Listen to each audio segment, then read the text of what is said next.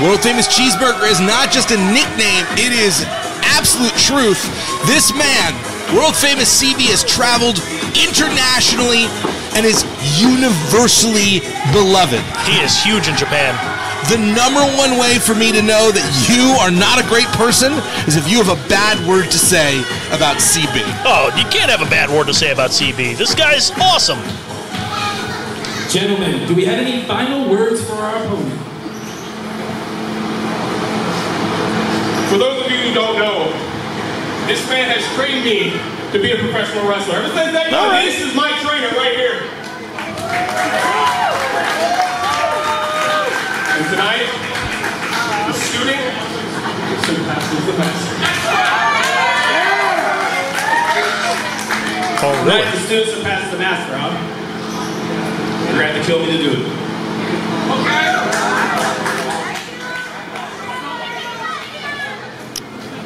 Well, very clear story to this one. It's student versus teacher. We've seen a number of students of world famous cheeseburgers on the show already. Ryan Mooney, Damaris Dawkins, and now Eli Isom. Now, I'm going to tell you here, Eli Isom might be getting in over his head here. His opponent is a world traveled competitor. His opponent taught him everything he knows, but maybe, just maybe, not everything that he knows. Cheeseburger, the number two seed overall, just behind Rhett Titus. Eli Isom, the number six seed overall.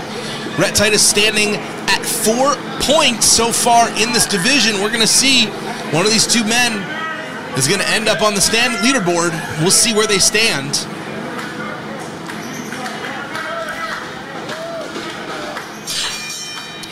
And this match, with a 20 minute time limit, is officially underway. Uh, looks like the code of honor is being followed there. The handshake. And we see Cheeseburger made the mistake of turning around, and Eli Isom immediately went for it. Number one, don't turn your back against your opponent. You do have to wonder if Cheeseburger may be underestimating Eli Isom, considering him still to be a student when Eli Isom is a division roster member, an equal here to CB in the eyes of Fight and Prince Nana. I mean, he's got to be underestimating him a little bit. It, it is his student, so he hasn't taught him everything that maybe Cheeseburger knows. But Eli Isom, a well seasoned professional wrestler, even at his young age, has got the size advantage, has got the strength advantage, though CB by far with the experience advantage. That experience not just measured in years in the ring, but also the high profile matches and situations that CB has found himself in. Yes. And the one thing that I like that I am seeing here out of Fight Pro Wrestling, you're not seeing you're you're not seeing an aging veteran coming in here past his prime, trying to make a name for himself or trying to hang on. You're seeing finely conditioned athletes from the very top of the business to the bottom of the business coming in here and proving their worth here tonight. Top level talent, well conditioned athletes of all different shapes and sizes. And what links them is their desire to compete. As CB right now putting on a clinic here in the middle of the ring. And I expect no less. These two both very technical. Because Eli has more power, I expect maybe to see more strikes and slams out of Eli Isom. Cheeseburger, almost always as a size disadvantage, has learned how to just uh, apply hold after hold. And Isom going right for the leg. No feeling out process needed. These two know each other very, very well. Cheeseburger, widely regarded as one of the finest trainers of the next generation currently on the scene. Yes, I have yet to see. I have yet to see a bad student come out of uh, Cheeseburger's Academy. Not gonna happen. It's not going to happen. But the standout, I think, has been Eli Isom. A lot of great people. We've seen other people on this card, but Eli Isom, many has felt to be the protege of Cheeseburger. These two have teamed many times as part of the Shinobi Shadow Squad together and with Ryan Mooney, but there are no friends Well, there- there's friends, but there is no allies here in the hybrid division. It's every man for themselves. Ah, a little bit of a test of strength here. Cheeseburger, a flashier wrestler than most, very intentional, almost a magician in the ring. He moves your attention one way so he can strike another. He is a fantastic master of misdirection, is Cheeseburger. Cheeseburger taking the advantage has like a straitjacket uh, headlock there, it looks like. That is reversed. You can be successful at pro wrestling with any body size, with any body shape, but how much harder do you think CB has had to work over his career to be this good and to achieve this level of success at this size? You have to have incredible work ethic um, for somebody his size to succeed like he has in professional wrestling. No doubt about that. Uh, like I've known this guy since he started wrestling, since he was still a trainee under Delirious.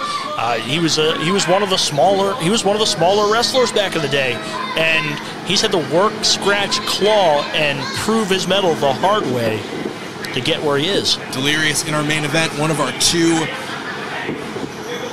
premier contenders, along with Tony Deppen. And Delirious casts a long shadow over many members of the Fight Pro Wrestling roster. Headlock applied by world famous CB. All right, working back up to what's going to happen here.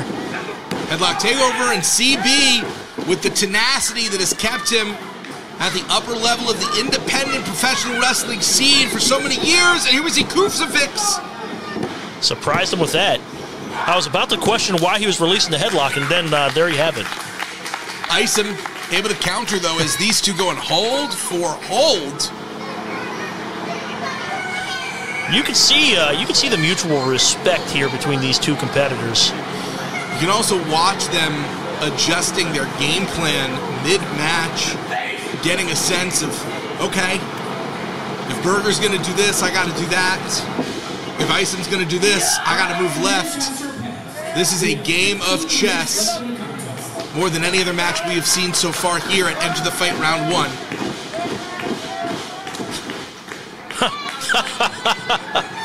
I mean this in the nicest way possible. Cheeseburger wriggled like a dying fish out of that hold. and it was impressive to watch. Ah, played a little trick on the uh, student there. The magician, the master of misdirection, the flash and the substance, the world famous CB. But uh, you can't question the fundamentals of Eli Isom right now with that arm wringer. Uh, Eli Isom with the full arm dragon twist applied here. See, look, CB just distracting Isom, wave of the hand, Wow. a cartwheel. It, none of it's frivolous. It's all so carefully calculated. You can tell he's going to play in mind games with his student here. Eli Isom coming back in with that sunset flip. Got the arms tracked. That technique was perfect. Oh, beautiful arm drag. So far, neither man has required a violation, intentional or unintentional. Important to remember that a rope break does count as a violation. So there are limited Really? rope breaks. Yes, similar to pure rules. Interesting. So there's limited rope breaks, a lot of stakes. Holds mean a lot here at Fight Pro Wrestling. Beautiful arm bar here applied. Look at that. Cheeseburger finding a way out of that. But only for a moment. Looks like Eli Isom starting to become a bit inured to the tricks of his mentor. And now really making Cheeseburger work out of the hold instead of being able to squirm his way. Underneath. Up high. Down low. Too slow. Oh, It's like a matador playing with a bull. Cheeseburger just having fun here. And now starting to have fun at the expense of Eli Isom climbing the mountain. I was about to say, this is not, I know what's coming. This is not about to be a fun time.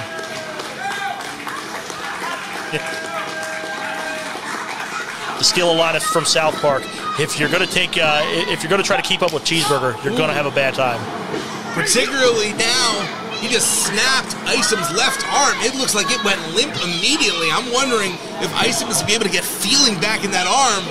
Uh, he better get feeling pretty quick because uh, Cheeseburger is not going to let that slip.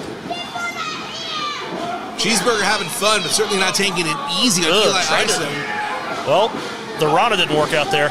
No, Isom able to power out, and that's the thing. No matter what, Cheeseburger is not going to be able to match power against Eli Isom, who has all of the raw talent of anyone I have seen in my years of professional wrestling. Eli Isom there with that modified exploder.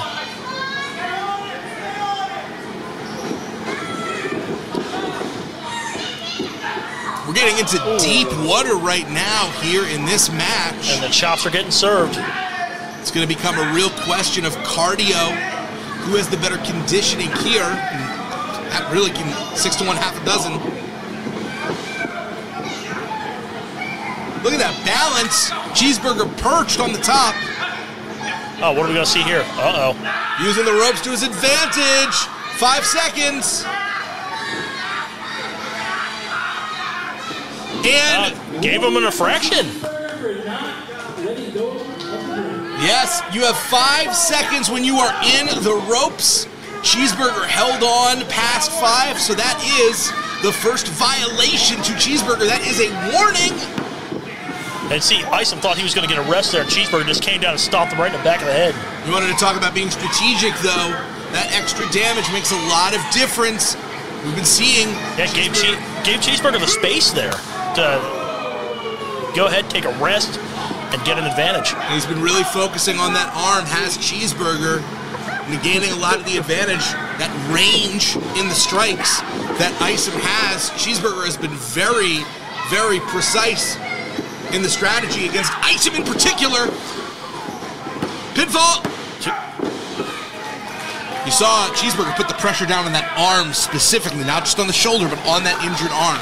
Yeah, working that arm yet again. Oh, I know that hurt. I've been in that hole before. It's not fun. Bending your wrist back like that. every single way that the arm wasn't meant to bend, Cheeseburger is introducing Eli Isom to all of them. Someone better be preparing an ice bath Yeah. for this young man It comes- backstage. I was about to say, when it comes to arm submissions, Cheeseburger's a surgeon.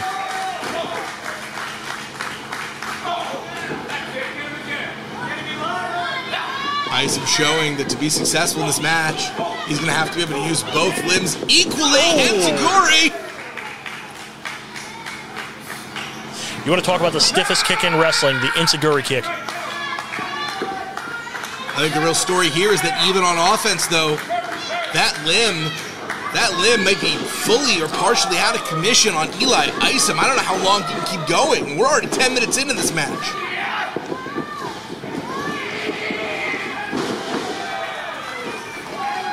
Swing slam and Isom deep hook. You notice he didn't pick him up with the left arm there. I don't think he can. And you know Cheeseburger knows it. Oh, yeah, Cheeseburger definitely knows it. Like a shark smelling blood in the water. That kid in the crowd knows it too. This is the best that Eli Isom has looked, but unfortunately not able to capitalize on that momentum due to the pain. How difficult is it? You're a former competitor when you have an injury developing in mid-match, both because of the pain and also the fear of maybe the long-term damage. What does that do to your focus? What does that do to your ability in the ring? Well, I'll, I'll be honest with you. The first, uh, when you experience an injury in the ring, the first thing you're going to try to do is try to hide it as much as you can. But the minute, the minute your opponent starts to smell blood in the water, so to speak, it's going to be a bad time. You better find it within you. You better find it within you to. Doing that right now, Eli Isom going for the win. You got to find it within you to just uh, just withstand the pain. Number one, find it within you to kind of uh, protect that injury, so to speak, and maybe even go out and give the receipt, injure your opponent back. Tremendous fortitude and resilience on display by Eli Isom, who is very clearly hurting and yet still maintaining the grip. We have seen Rhett Titus get on the board first member of the hybrid division, scoring four points with the knockout. One of these two, Notice no, notice how the grip there. He doesn't have his hands locked together. He's basically holding his other arm. He, Isom not able to maintain the hold on Cheeseburger exactly like what you were saying. At this point, it just hmm. seems like a matter of Cheeseburger can keep this match going long enough, he will eventually find a way around Isom, and Isom needs to end it quick. Yes, Isom really needs to end this matchup because I can tell you, if Cheeseburger gets a hold of that arm and gets a significant submission on it, it's over. In this moment, Isom is definitely playing offense, or playing, yeah, playing offense as defense. Got to do everything in his power to keep Cheeseburger off of that arm. Yeah, because I can tell you, it's not going to be a wear down hold on that arm. He Cheeseburger's going to go in to shut that arm down completely. Everything changed when Cheeseburger snapped that arm with his legs. He was playing fun and games. Uh, and you can see the suplex. Uh, he was trying to go for the suplex there, not as effective. Cheeseburger was able to block it a little bit easier. Cheeseburger lowering down that center of gravity, trying to make it as difficult as possible for Isom, who just powers Oh. Cheeseburger up.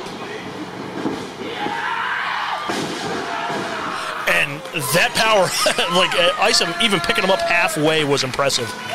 As they would say on the USS Enterprise, Cheeseburger managed to reverse the polarity and turn that suplex back on his student.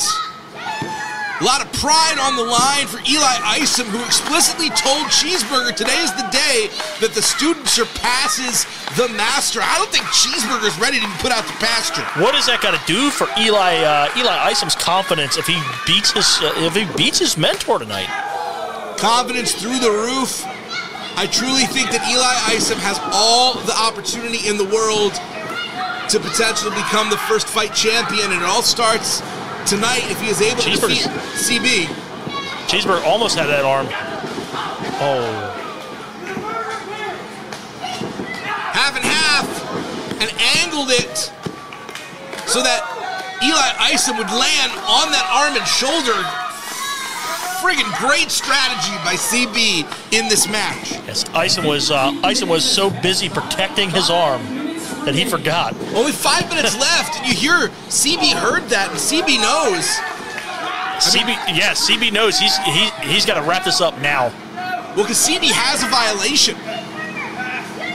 It's very unlikely, but if this were to go to a time limit draw, if there is a disparity in violations, the competitor who has fewer violations gets the victory. It's only a draw if all other things are equal. So there's a lot of math, basically, that these competitors have to keep in mind as the clock is ticking. Look at that power! Air raid crash by Isom!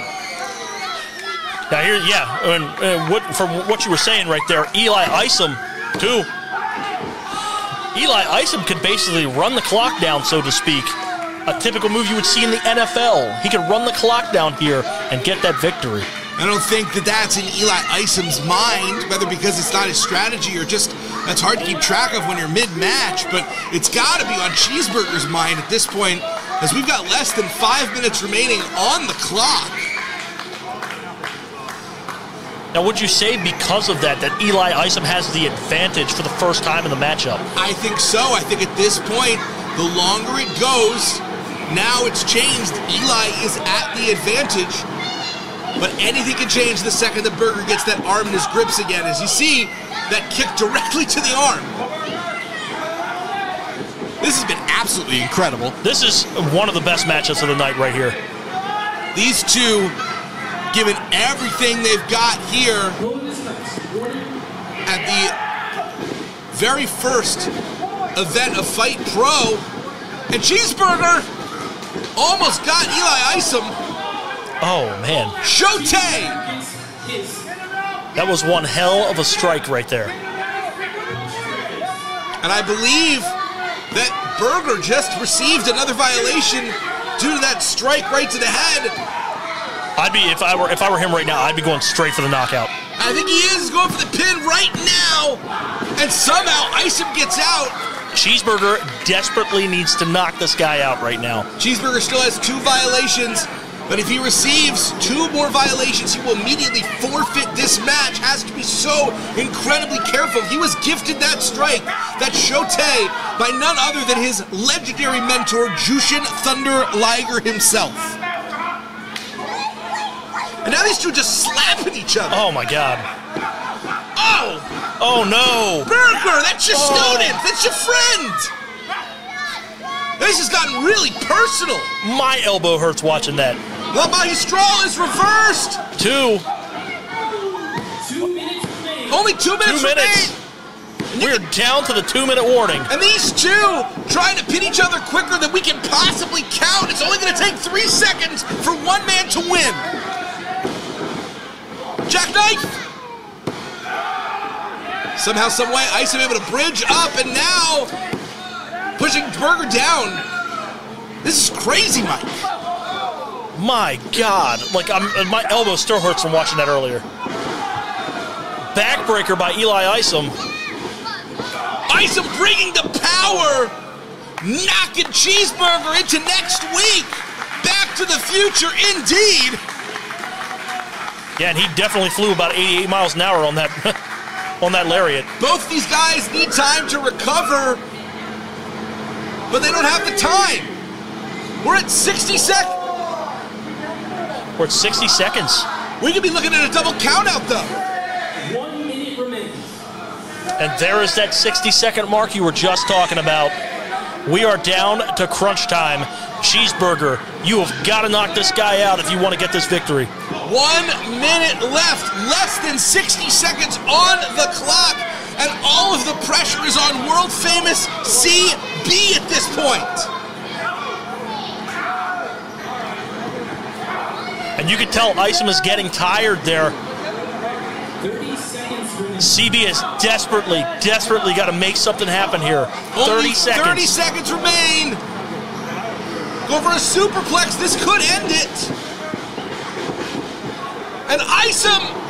Oh! Isom's got CB middle of the ring. 10, 9, 8, 7, We're on to the final 10 seconds. 5, CB. 3, 1. Time limit. And we have a time limit This draw. match is a draw, time limit draw. Both wrestlers will get one point Is it though? Well, technically, it is a time limit draw. The way things work is that both CB and Isom will receive one point, but then Isom will receive an extra point for the split decision for having less violations. So CB will get one point, Isom will get two.